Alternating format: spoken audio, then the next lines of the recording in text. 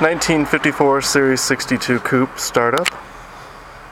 Uh, it's about 45 degrees today here in Austin.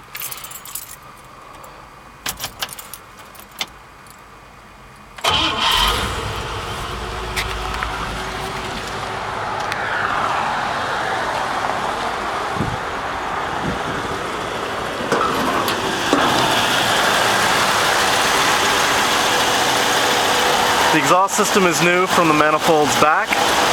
Generator's rebuilt. I put a quick kit in the WCFB. Uh, I would recommend probably rebuilding it, but it runs great.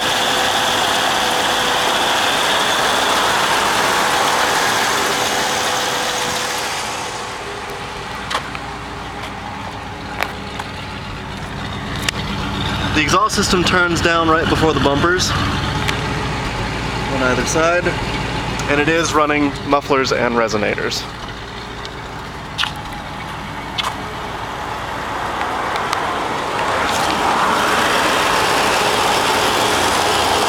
As you can see, there's almost no smoke coming from the road draft tube.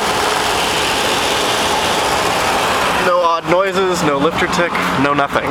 This motor runs phenomenally well.